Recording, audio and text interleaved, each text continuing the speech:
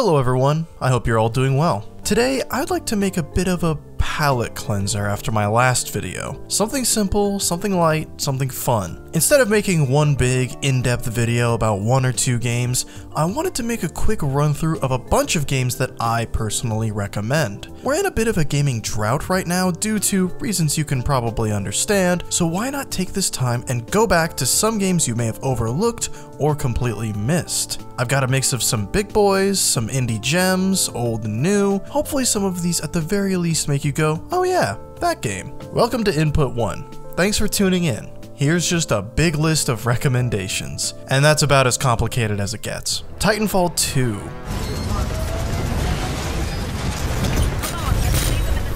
Starting off on the right foot here, Titanfall 2 is, simply put, absolute FPS bliss. Made using a modified version of Valve's Source engine, it's very natural to feel like you're playing a modern version of Half-Life 2 during certain moments during this game's campaign. There's something about the atmosphere, the visuals, the tone, and the raw creativity in this game that evokes the same feelings I got from Valve's flagship franchise. There's an understated charm in Titanfall 2, but it's not just due to its legendary kinship. It's also due to the great banter between the player character and BT, your Titan. I would accompany you, but unfortunately my chassis will not fit through the door. Oh, lucky you. I detect sarcasm. It's due to the exhilarating locomotion and airtight gunplay. It's due to ingenuity in its level design and, again, that raw creativity I mentioned before. I wish the multiplayer was more populated than it is today because the excitement from the campaign is multiplied exponentially when you take that action online. Intense mech battles and complex yet natural map design give you the tools and power to create your own inventive ways to outsmart or outgun other players in a satisfying way unique to Titanfall. Even though there's a lot of Titanfall 2 that's iterative of its predecessors, it still stands on its own, head and shoulders above its competition. That recommendation was a bit longer than I intended, so let's just blast through a few of these. Hades. I'm not really big into roguelikes, but Hades knows the frustrations many have with dying over and over and over again, and makes sure you have a steady incline of progress to keep you coming back for more and more, if the satisfying combat and intriguing narrative wasn't doing that already. Donut County. It's fun, it's cute, play it. After Party. And so I want you to understand that I'm not blaming you for getting us killed and sent to hell. From the same team that gave us the excellent Oxenfree, After Party is a fun look at the afterlife that also offers some thoughtful, introspective insights into its main characters, drinking culture, and the big man of hell himself. It's easy to get through this in one or two sittings, so hopefully that makes it easier to check this one out. I really enjoyed it. Sayonara Wild Hearts. It's simple arcade rhythm action with one of the best original soundtracks in all of gaming, fused with vibrant and colorful visuals. It feels like every single second of this game was poured over and meticulously crafted, which is why it impressed me so much when I played it for the first time.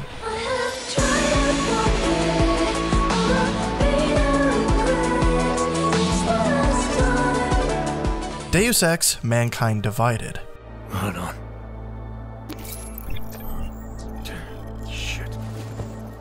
If you were disappointed by another RPG in a cyberpunk world, I definitely recommend Deus Ex. Mankind Divided is a bit disappointingly short, but the strength of its design, world, and decision making makes it an easy recommendation. Wild Arms. Often overshadowed by the other RPG that came out around the same time, Wild Arms is still very much worth trying. So much so, I actually made a video a while back talking about this game and why I like it. The music is great, the story is great, the gameplay is easy to understand and fun. Two thumbs up from me. Bloodstained, Ritual of the Night. It's pretty much a Symphony of the Night remake, and that's a beautiful thing. It's not even trying to not be. I mean, both games were made in part due to the same guy, Koji Igarashi. There's not much to say here. Bloodstained is exactly what you think it is, and it's great. The Red Strings Club.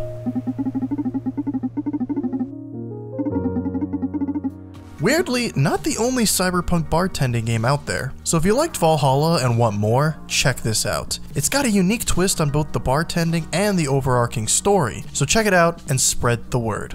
Void Bastards. A unique take on roguelikes that has you, the player, exploring procedurally generated ships and slowly but surely building your crew and armory with the materials and items you accrue from each run. It's fun, satisfying, and not much else, but sometimes that's all you need. Need for Speed Heat. Oh, ah! Are you of all time! Ghost Games had a shaky track record, pun intended, when it came to Need for Speed after they took control with Rivals. They struggled to find the image and identity of their Need for Speed. They came close with Need for Speed 2015, but it just wasn't quite there. I feel that Heat was finally the result of all their growing pains and struggles, resulting in an excellently crafted open world racing game experience that can go toe to toe even with the great classics of the Need for Speed franchise. Heat shows great reverence to its past, while also forming its own unique image through the intense stakes Ghost Games has added to the police chases. Heat was the game that made me realize Ghost Games finally understands Need for Speed on a fundamental level, and it's a shame they were not only not rewarded for it, but that the studio has been dissolved and the keys to the franchise handed over to Criterion Games. I would have loved to have seen them take the experience from Heat and apply it to a new project, so we'll just have to love what we have. If you miss the way Need for Speed used to be and wish there was a modern take on classics like Underground 2 and Most Wanted, well, this is for you. A Way Out.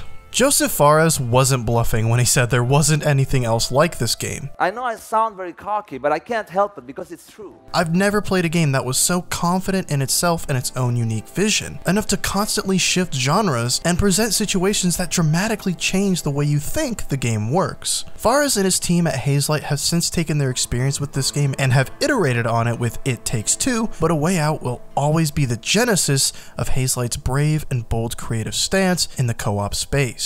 Final Fantasy IX. I know this game has its fans who swear by it, and there's the fact that it's part of one of the biggest franchises in gaming, but I still can't help but feel that Final Fantasy IX is a bit overlooked in the grand scheme of things. I loved its charming world, quirky characters, and beautiful story, but honestly, the thing that surprised me most was its RPG mechanics. I loved the idea that certain abilities are tied to certain items, and once you master that ability, you can use it no matter what you have equipped. It's an idea so good, it even made its way into Final Fantasy VII Remake almost exactly 20 years later. So if you missed this one or never cared because it's not 6 or 7, you're seriously missing out. I loved it.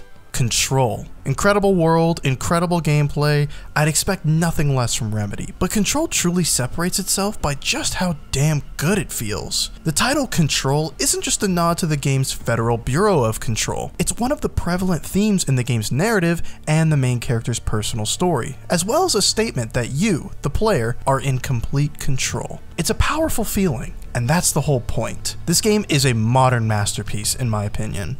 Destiny 2. This game has had its ups and downs, but ever since Bungie separated themselves and Destiny from Activision, it feels like they're finally realizing their initial vision for Destiny an ever changing world featuring events that have lore and in game ramifications. It's a shame it had to suffer so many growing pains to get to where it's at, but I think it's in a really good place, especially following the substantial Beyond Light expansion. It's a place worth checking out at least.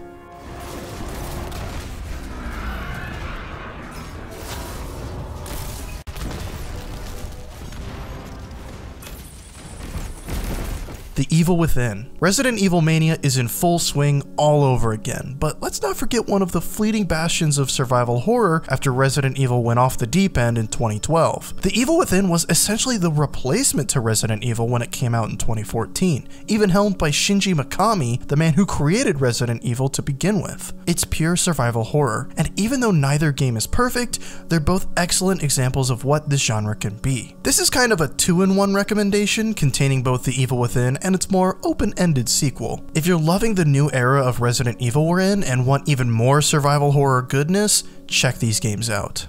Fuser. Fuser has been one of the hardest games in the industry to cover. Due to its inherent reliance on licensed music, it's difficult to properly showcase just how cool this game is without getting a DMCA strike from YouTube or Twitch. The same way Harmonix recreated the feeling of performing live music on a variety of instruments with Guitar Hero and Rock Band, they've essentially done it all over again, but instead with DJing in Fuser. Not only does Fuser give you the opportunity to find out for yourself what All Star sounds like when mashed up with Sandstorm, Take on Me, and Never Gonna Give You Up,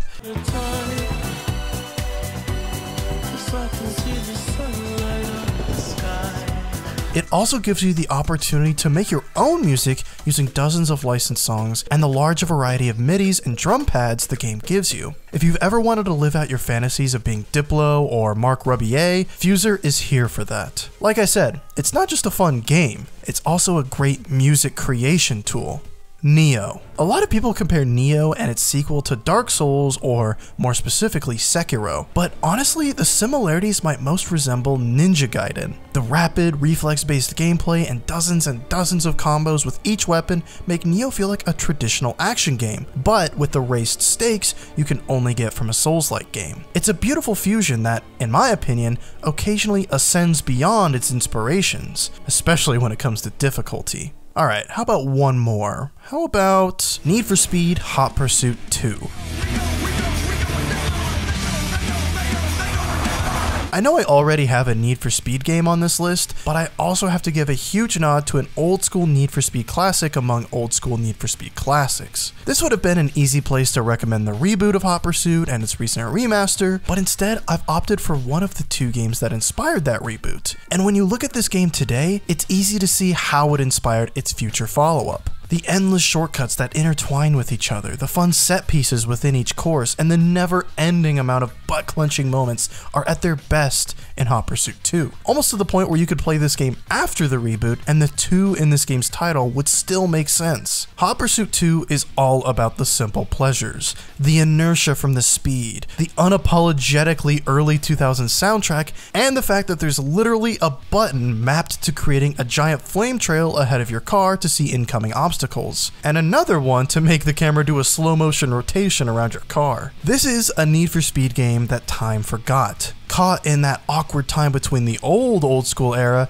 and the underground most wanted era, but it's definitely one worth remembering and absolutely one worth respecting, and one worth playing, of course. And those have just been a few of my off the wall or major recommendations. These aren't all games I'd throw on my top 100 list or anything, but I still vouch for every single game featured in this video. Just nice little suggestions if you're struggling to find something to play right now. Hopefully some of these pique your curiosity or remind you of some good times you've had with one or even all of these games. I know I kind of just set a precedent for each upload to be some deep, introspective look at certain games or topics, but I honestly just wanted to do something light and fun after my last big video. I love sharing the things I love. This video doesn't have any gimmick or deep message, it's just a big list of recommendations that I hope can get you through some tough times, or just raw boredom. Thanks for watching! If you want to support me, a link to my Patreon is in the description, alongside a link to my Twitter account if you want to follow me there. This has been Input 1. Stay tuned.